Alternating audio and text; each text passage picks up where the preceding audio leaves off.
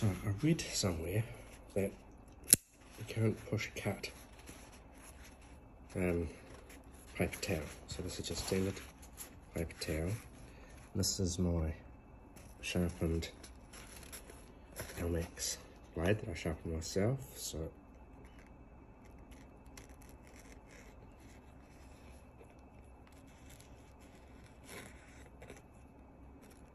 you can cut it. So I mean normal paper, right? You can cut normal paper easily, but yeah, like I said, you can't push cut paper towels. So paper towel, no pressure on it. And there she goes.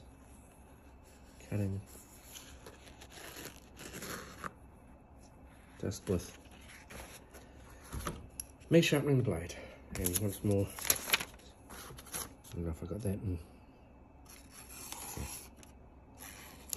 So there you go, my sharpening, it works. Cheers guys.